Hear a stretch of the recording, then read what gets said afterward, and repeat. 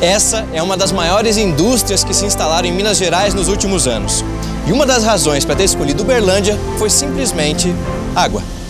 Em 2012, a prefeitura garantiu o fornecimento de água para a fábrica utilizando a represa de Miranda e concluiu o projeto da estação de tratamento Capim Branco para atender a nossa cidade pelos próximos 50 anos e atrair novos investimentos. DEMAI e Prefeitura de Uberlândia, você pode contar com a gente.